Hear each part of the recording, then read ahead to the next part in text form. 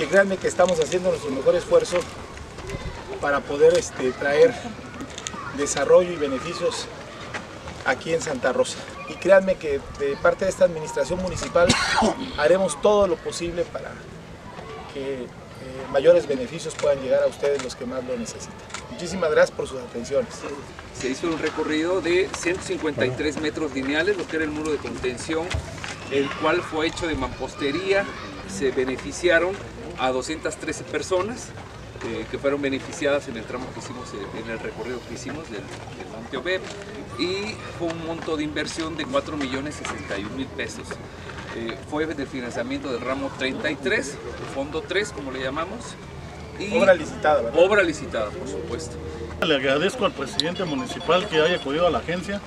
Este, realmente nos benefició con un buen porcentaje de obras este año.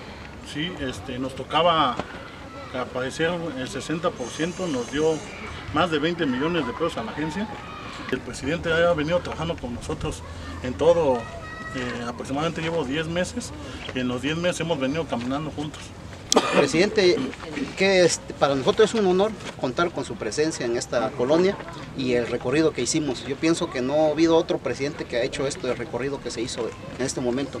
Y que más, agradecerle, la calle de Monte Oret está infinitamente agradecido con usted, con el apoyo que le brindó del muro de contención. Nosotros ahorita tenemos un beneficio que es una realidad.